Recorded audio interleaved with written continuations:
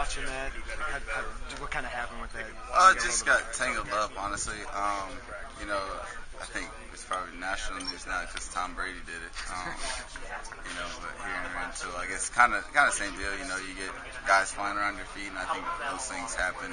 I think they happen from time to time as a quarterback. It's not, you know, not really the first time that's happened, but uh, yeah, just got tangled up. Um, you know, just rolled up on my on my feet and my legs a little bit, but nothing serious. Thank goodness, you know, because those are the, I guess, the scary ones as a quarterback that you know you don't really see things happening behind you. You, you know, feel something obviously, but yeah, it wasn't too bad at all. Coach is just holding you as a precaution right now, kind of keeping you away from those seven on seven, 11 on 11 Yeah, I think you know just because I'm an old guy now, getting some old legs, they're just trying to make sure I'm all right. But no, I feel good. Um, you know, I think I feel a lot better to get a 24-hour break right now, which will be nice for not only me but all of our bodies. It's always nice to, you know, kind of have that after we've grinded really the last four practices. Really, we're in within you know 40, 42 hours. So, um, you know, that's a lot of work for everybody. Everybody's, you know, you know they can feel it in their bodies and, and mentally as well. But um, you know, this 24 hours is big for us to not only recover physically but, but mentally as well, and I'll be doing the same.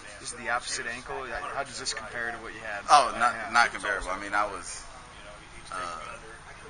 You guys know, but I was in a boot last year. Um, you know, after that, and, and not really able to move around too much at all. Um, you know, so this is, I mean, last night I, I was able to run. Really, I thought I, I could have practiced uh, last night and this morning, but I think they just didn't want anything to, you know, kind of happening. And Like I said, as a quarterback, those things are, you know, things that can happen. So, um, yeah, they're just making sure.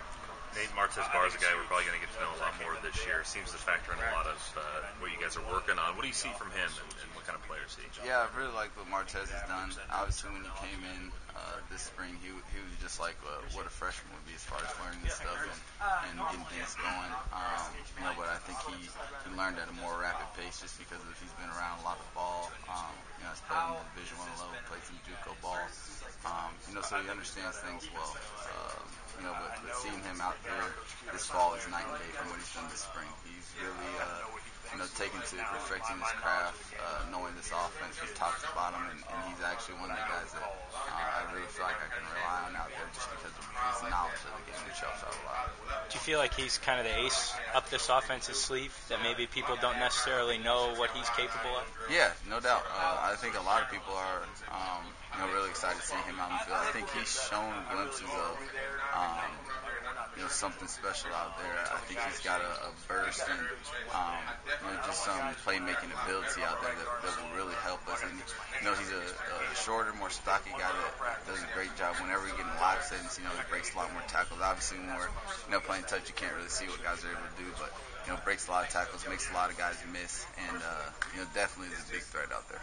You guys were really high on Monday after what you guys were able to accomplish on offense, and you know, kind of a down day like this. Is this just typical Rantoul kind of up and down, up and down? You know, yeah, there's always going to be up and downs. Um, and, and ultimately, you want it to be up and down. So if one side of the ball is dominating a uh, majority of camp, uh, that probably doesn't say a good thing about you know what's going on, you know, going into the season.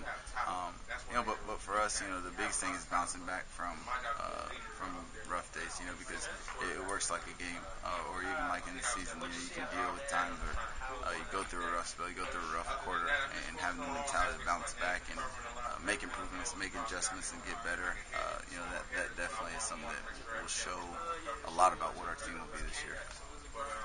Thanks. Exactly. Good. Uh, yeah, you